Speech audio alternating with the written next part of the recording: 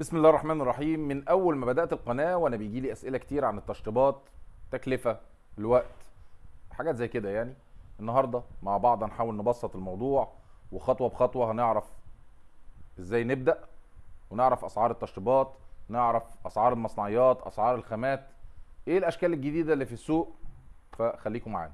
معاكم مهندس محمد سلامة ودي قناة مستشارك الهندسي وإن شاء الله تستفيدوا من الحلقة دي.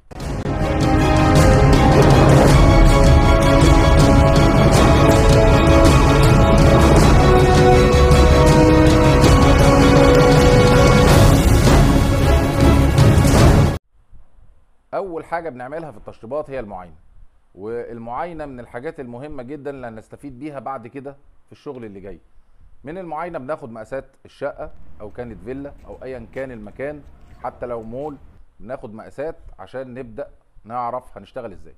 بنقعد مع العميل العميل بيبدأ يطلب طلبات محددة آه، لو كانت بصور لو كان في أفكار في دماغه لو كان شاف حاجة محددة بنبدأ ناخد الأفكار دي ونبدأ نحولها لرسومات هندسية أو تصميمات interior design وال interior ده عبارة عن صور لكل مكان للصالة للمطبخ للحمام لكل فراغ عندك في المكان اللي انت هتشطبه.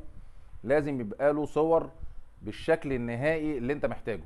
هتختار منه الألوان هتختار منه شكل البلاط هتختار الشبابيك هتختار الأبواب الإضاءات الجبسون بورد كل حاجة حتى الفرش. فما تتخاذلش في موضوع التصميم لأن التصميم مهم جدا وده بيبقى بمثابة عقد ما بينك وما بين المهندس. يعني أنت بعد ما بتعمل التصميم وتتفق عليه خلاص حضرتك أول حاجة هتفكر فيها إنك تمضي على الصور دي وتقول أنا عايز الصور دي وتاخد منها نسخة معاك. المهندس بتاع التشطيبات بياخد الصور ويبدأ ينفذ على أساس الصور اللي طلعت من التصميم. طيب بعد كده المرحلة الثانية حساب التكلفة. بنعمل حسبة بالتكلفة اللي هت... اللي هيوصل بيها التشطيب ده في الشقة دي كام. النهارده أنا عايز أعرف شقتي هتتشطب بكام بناء على التصميم اللي طلع. ال- الباقات والكلام من ده ما بيبقاش له أساس أو مش معروف إيه الخامات اللي مستخدمة. أنا النهارده لو حابب أشطب شقة لازم أعرف كل التوصيفات اللي هتتعمل في الشقة عندي. من أنواع بنبدأ بقى من السقف للحوائط للوزرة للأرضيات. الحو... السقف هيتعمل جبسون بورد. نوعه إيه؟ شكله إيه؟ الإضاءات هتبقى متركبة فيه إزاي؟ ده بالنسبة الألوان بتاعته شكلها إيه؟ ده بالنسبة للجبسون بورد. طيب بعد كده عندنا الحوائط.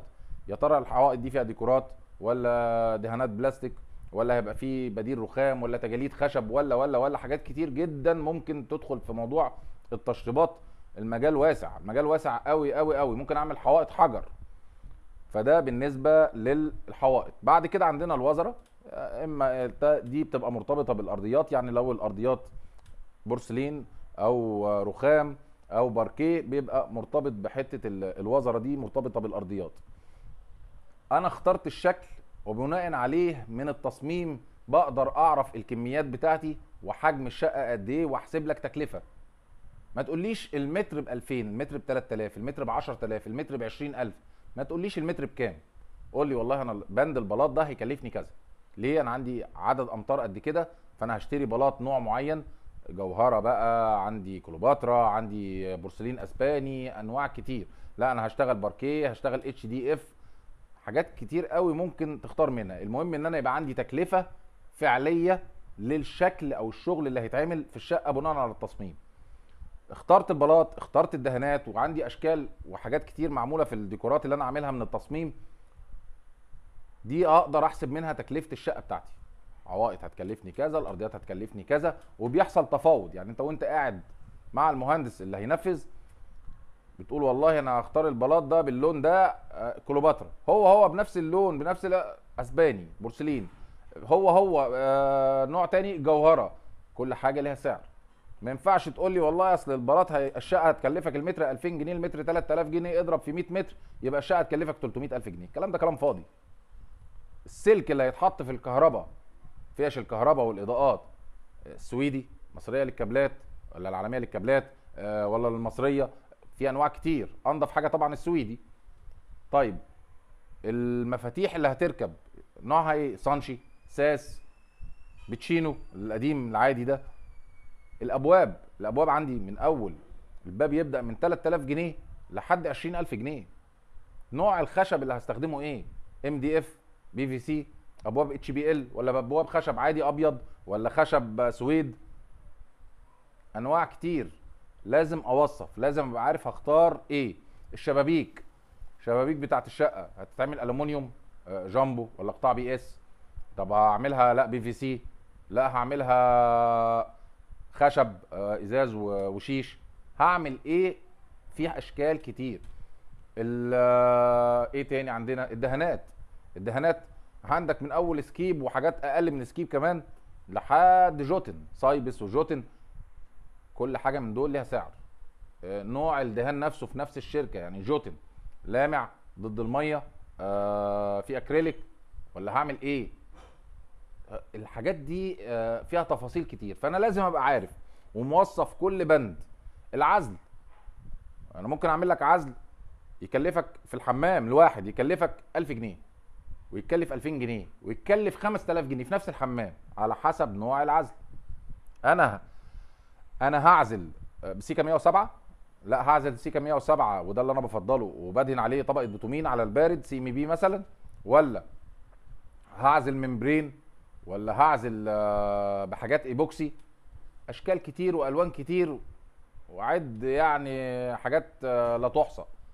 فأنا النهارده أول حاجة عشان أعمل شقتي بعد التصميم التكلفة. حسبت تكلفتي عرفت البادجت بتاعتي رايحة فين هبدأ أشتغل. هبدأ أشتغل بإيه؟ المراحل بقى بتاعت الشغل دي اللي إحنا جايين نتكلم فيها النهارده. أول مرحلة هي التأسيس. عندي سباكة وعندي كهرباء. كهربائي والسباك يشتغلوا في وقت واحد مع بعض. كهربائي شغال في الفيش وفي الإضاءات الحاجات اللي هتتركب الأباليك كل الاختيارات اللي في التصميم. والسباك شغال في تأسيس ال- السباكة صرف وتغذية. مية سخنة مية ساقعة صرف بلعات أماكن الحوض مكان القعدة مكان الشاور كل ده بيبقى في التصميم وبناء عليه بيشتغل. وبرده نفس النظام الكهربائي بيبقى معاه التصميم وشغال عارف عدد الفيش اللي هتتحط بناء على إن إحنا اخترنا الفيش دي من الفرش. الفرش اتحط في الحتة الفلانية فالفيش جنبه الإضاءة في الحتة الفلانية أنا عندي مفاتيح déviateur عندي إضاءة شكلها فلاني سبوتات حاجات من دي. نجف كلام من ده. فأنا دلوقتي خلصت المرحلة الثانية بتاعة التأسيس. تاني مرحلة بعد التأسيس المحارة. أبدأ محارة سقف حوائط وأبدأ أدخل في مرحلة العزل. يبقى أنا عندي محارة وعزل للحمامات والمطبخ. خلصنا المحارة أبدأ أخش في المرحلة اللي بعدها ألا وهي الجبسون بورد. ال gypsum board أنا ما بفضلش أنا شخصيا ما بفضلش الأشكال والحركات الكتير دي. خليك simple حاجات بسيطة flat بيت نور على الداير لو كنت حابب. بس كده ما تكترش في ال gypsum board ال gypsum board آه لما بيبقى أشكال وحركات بتبقى موضة وبتقدم. كل فترة هتلاقي نفسك إيه ده الشكل ده قديم قوي.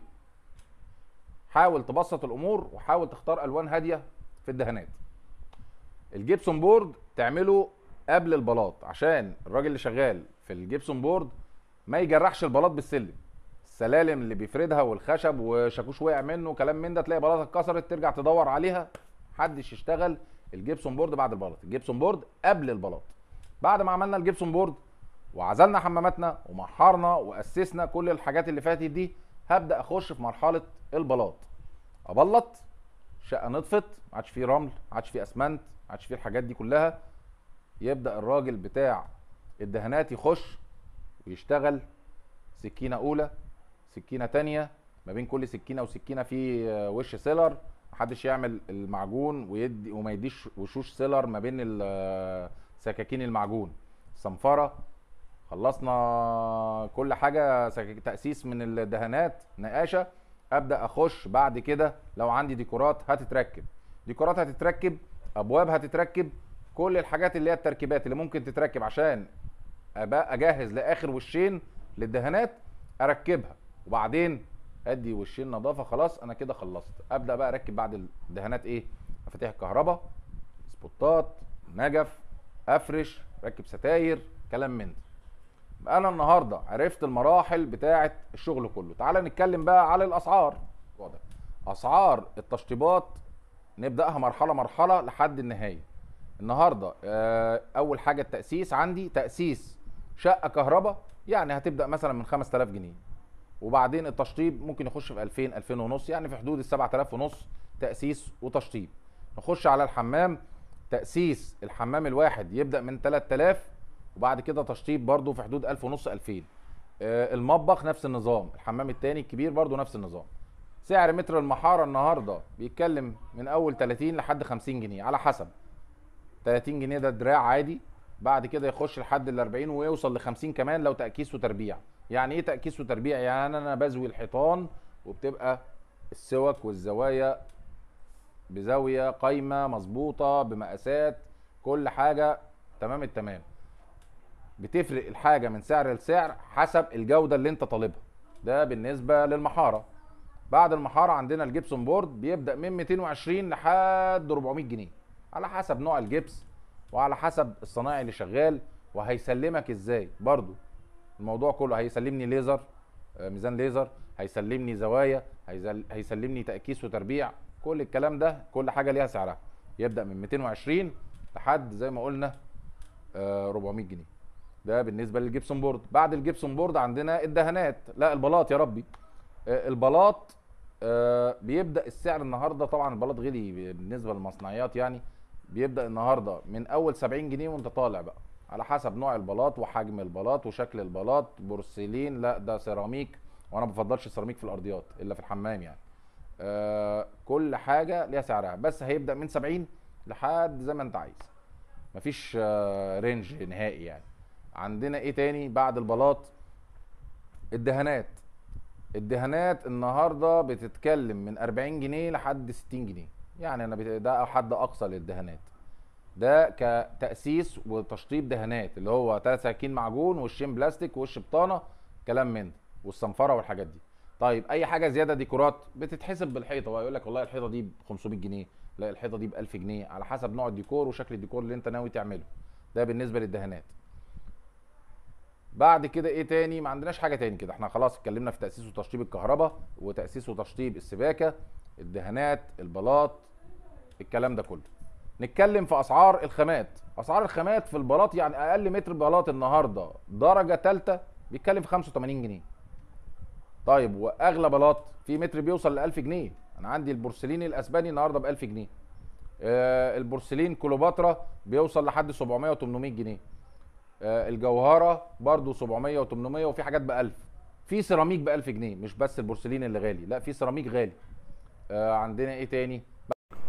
لو حابين تعرفوا الأسعار آه، بشكل أشمل وشكل آه، أكبر ممكن تكتبوا لي في التعليقات. أي حد عايز يعرف أي سعر لأي خامة أنا ممكن أجيب له السعر في لحظتها هتلاقيني بجاوب عليك.